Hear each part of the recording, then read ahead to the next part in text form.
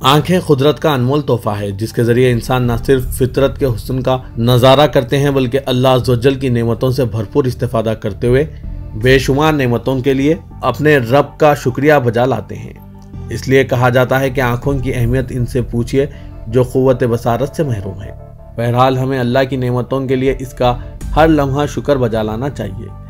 जहाँ तक आँखों का सवाल है, इसकी सेहत व निगहदाश्त का ख्याल रखना भी ज़रूरी है। अगर कोई मामूली मसला भी है तो फौरी माहिर अमराज चश्म से रुजू होना चाहिए। हमारे शहर में अमराज चश्म के बेहतरीन हस्पताल मौजूद हैं। इनमें आबिद अली खां आई हॉस्पिटल दारुशफ़ा भी शामिल है।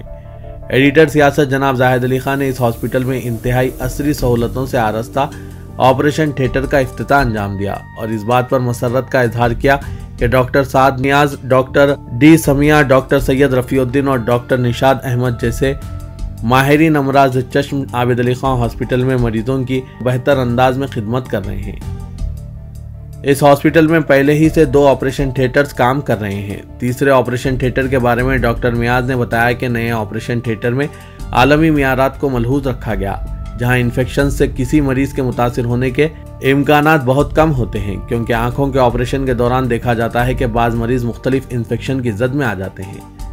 वैसे भी आबिद अली खां हॉस्पिटल के क़्याम का मकसद ही कम से कम फ़ीस में ज़्यादा से ज़्यादा बेहतर इलाज की फरहमी है।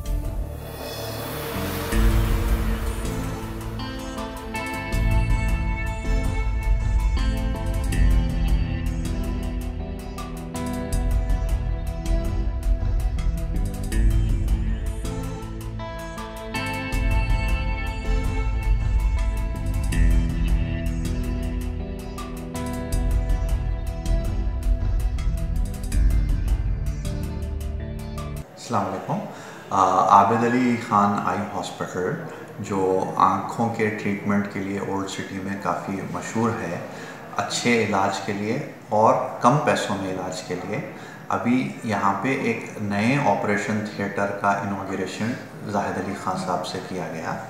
ये नए ऑपरेशन थिएटर इंटरनेशनल स्टैंडर्ड्स के हिसाब से बनी हुई है। Anti static flooring hermetically close doors polyurethane walls जिससे इन्फेक्शन का और कीटाणु के चांसेस कम से कम रहते हैं। इसकी वजह से जो है better outcomes in cataract surgery होंगे ये already Abid Ali Khan eye hospital में दो ऑपरेशन थिएटर हैं। ये तीसरा ऑपरेशन थिएटर ऐड किया गया है ताकि आवाम की बेहतर से बेहतर इलाज किया जा सके। शुक्रिया। अलैक्म